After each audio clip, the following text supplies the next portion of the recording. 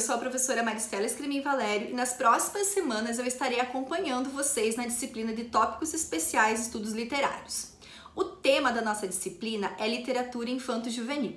Então, durante essa disciplina, vocês vão aprender um pouco mais sobre a história da literatura infanto-juvenil, desde os seus primórdios, os primeiros contos escritos para crianças no século XVII, como a literatura infanto-juvenil chegou no Brasil no início do século XX, final do século XIX, início do século XX, as primeiras obras, é, o papel do Monteiro Lobato, que foi um escritor bastante importante da literatura infantil brasileira, e depois nós vamos estudar as obras que consolidaram a literatura infanto-juvenil. Então, a partir da década de 70, nós vamos ter aí uma grande safra de escritores que vai dar uma cara especial à literatura infantil produzida no Brasil.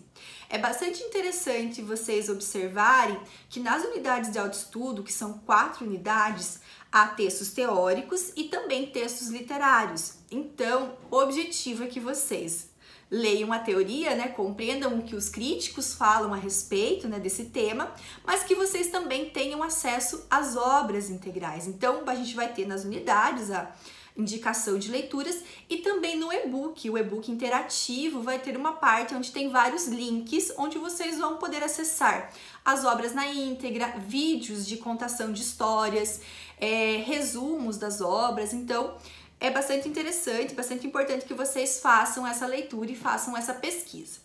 Outros temas que vão aparecer também na nossa, na nossa disciplina é a questão da literatura infantil afro-brasileira e africana. Então, nós vamos falar um pouquinho sobre essa questão, vamos discutir né, a importância desses textos na formação da identidade brasileira e também o tema da formação de leitores e da inserção da leitura do infanto-juvenil é, da, da, leitura de livros infantos juvenis em sala de aula. Então a gente vai ver algumas estratégias de leitura, algumas estratégias de metodologias de ensino para que essa leitura seja, é, para que a gente possa, né, enquanto futuro, futuros professores, formar leitores que vão sentir algum prazer, né, com a leitura.